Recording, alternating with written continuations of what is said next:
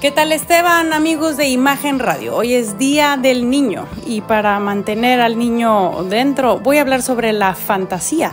La fantasía es muy importante y cuando los niños eh, son niños que juegan, que crean, que imaginan, de grandes logran ser personas que aprenden a proyectar mucho mejor.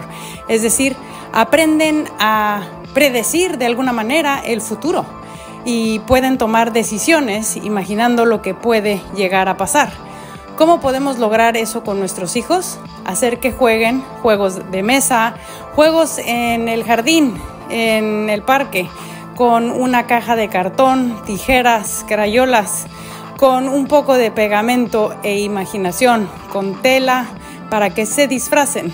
Jean Piaget nos hablaba del juego, que era muy importante para la imaginación y así cuando sean grandes pueden decidir qué carrera estudiar porque se imaginan en un futuro, porque se imaginan que pueden lograr ser algo que ellos se eh, imaginan ser. Entonces, vamos a trabajar en la fantasía de nuestros niños y si nosotros no lo logramos cuando éramos chicos, porque no nos lo propiciaban nuestros padres, bueno, ahora de grandes tratemos de imaginar y nunca perder la capacidad de asombro. ¿Cómo es eso?